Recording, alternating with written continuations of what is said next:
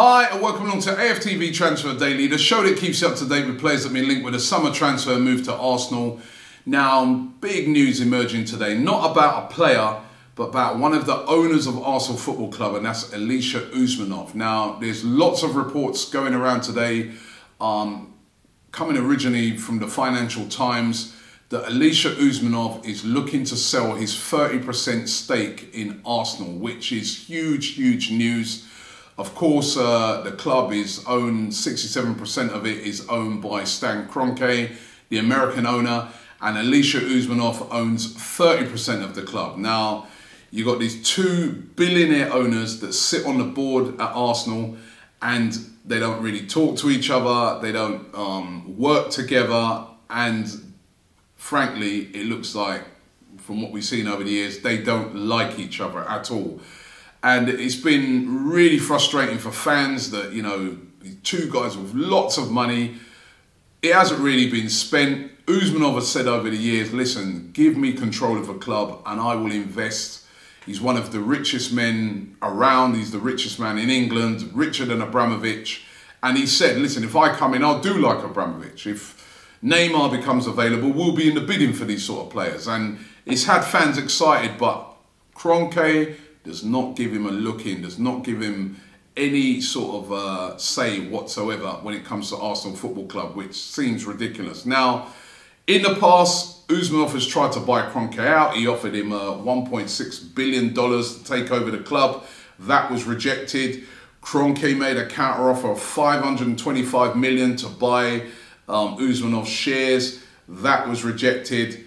Um, and now that Usmanov looks like he could be selling up, that could mean that Kroenke could take full control of the club by buying those shares if those shares are offered to him, which quite frankly, for me, I don't like that. I don't like one person just having the complete control from top to bottom of the club. I've not been convinced over the years of Kroenke and the amount of money that he's invested into the club. I mean, we can see again this season. I know we've not made it into the Champions League, so income has dropped. But basically, we brought in a new manager and we've given him a budget of around about 50 million pounds or 60, around about that, to build a team. Now, you look at a team like Everton, they're about to pay 50 million pounds for Richarlison on one player. And that's been a budget of Arsenal Football Club's new manager for the whole season.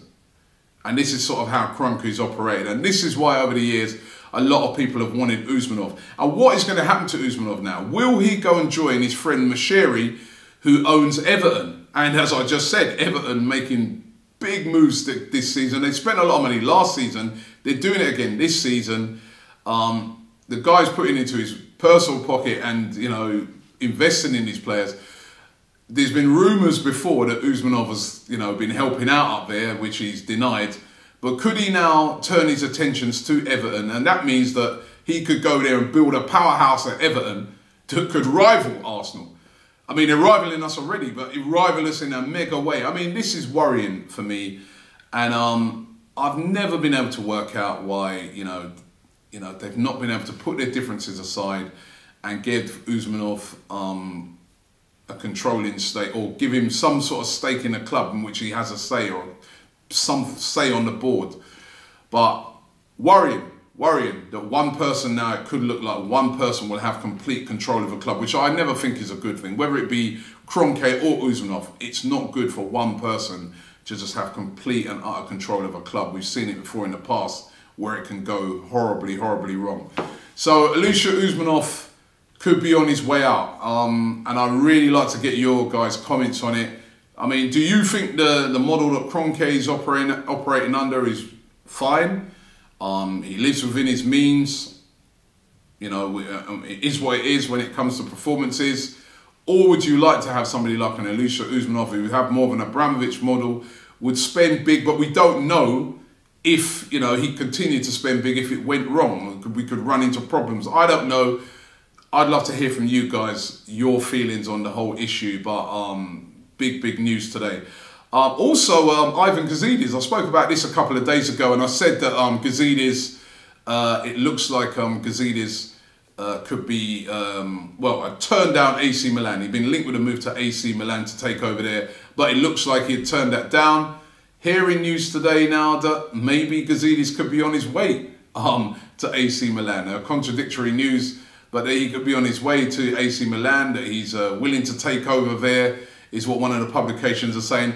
I still think that Gazidis will stay at Arsenal. Um, Gazidis is currently over here in Singapore uh, with the Arsenal squad. What he's been working on and building over the past season and a half I think he's going to stay and complete that. And I'd be really, really surprised if he did go to AC Milan. So I think he will still be staying at Arsenal. Now, Kingsley Coman, we've been linked with him um, a lot over the past week or so. Remember the other day I said that he uh, liked that uh, tweet or Instagram post um, linking him with a move to Arsenal. Well, listen, he's uh, sort of um, come out with some news on the on the whole um, issue which will disappoint Arsenal fans. He said that I've, and these were his words, he said, I've had no contact with Arsenal. I've just extended my contract here at Bayern and I'm planning to stay here for many more years. So it looks like uh, Kingsley Coman won't be coming to Arsenal, although we've heard things like that before. Mesut Ozil famously said he's staying at Real Madrid and ended up at Arsenal, so who knows. But it does look like Kingsley Coman. I mean, why would he move when you think about it? Why would you move? You're at Bayern, you're winning stuff every year, you're getting paid well. Um, Robben and Ribery are reaching the end of their days, so you know you're going to take over. It would be wouldn't make sense for him to come to Arsenal, really, from a personal point of view. But we can always dream, can't we? Um, Alex Iwobi, remember yesterday we run that poll and we said, does he deserve a new contract? Now, this was so, so close in um, the voting on this. 52% of you said yes, he deserves a new contract. 48% of you said no, he shouldn't get that. It's more or less an even split um, on this one. Um, I'll tell you what, Iwobi has a huge, huge season ahead of him. He has to perform this season. No excuses from him. He's been given a second chance when many people think he doesn't deserve it. He has to deliver this season. So big season for him. They can't even start saying he's just a youth player no more. He's 22 now. He has to deliver. Big season for Alex Iwobi if he gets that new contract. Steven Nzonzi is still linked with Arsenal today. Now, um, Arsenal was said to be really interested in him, but unwilling to meet the £35 million release clause. They're just not moving on that. Arsenal saying it's a ridiculous amount, which I agree. Uh, Nzonzi's 29. Yes, he did just win the World Cup. His value would have gone up but Arsenal just unwilling to move on this one apparently and are waiting it out. Interestingly, though, that um, Sevilla are uh, looking to sign Bakayoko from Chelsea uh, on a loan move.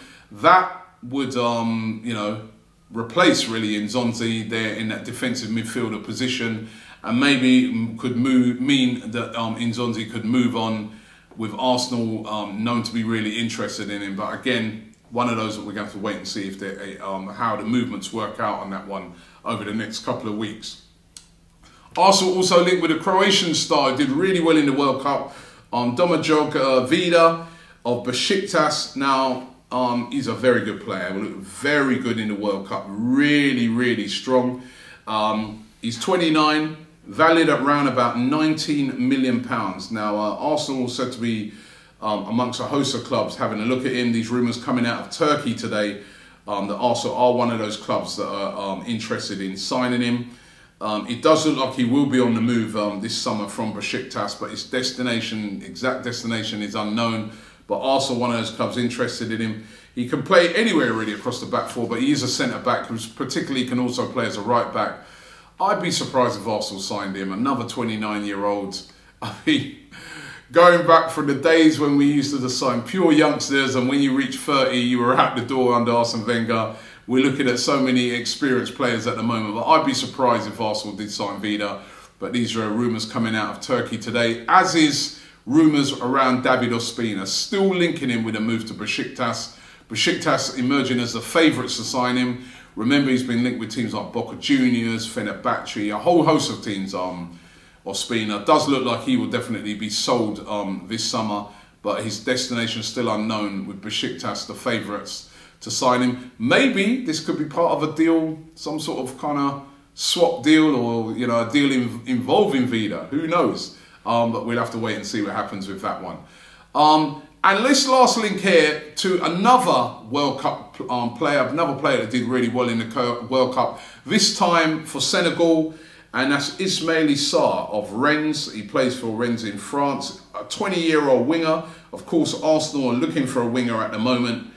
Now, Rennes want a ridiculous 50 million pounds for Ismaila Sarr. Good luck with that one. They're not going to get nothing near that. Um, but Arsenal said to be uh, having a look at him, really interested in signing him, along with uh, um, Liverpool, a few other clubs in the Premier League. He did have a really good World Cup, but at that price, there's no, well, that'd be our budget, wouldn't it? 50 million pounds, all done, boom, right? So, um, looking very unlikely at that fee, but then Rennes are not going to be able to get anywhere near that money. The fee will change, so let's uh, keep an eye and see what happens to that one. Only 20, by the way, and a really talented player. Listen, we're going to be on our way to Singapore today. Um, so the show tomorrow will be coming from Singapore. Looking forward to getting over there and watching Arsenal taking on PSG and also Atletico Madrid. Two big tests for Arsenal. Should be really interesting how they get on under Unai Emery. Thanks for watching the show, and we'll be back tomorrow.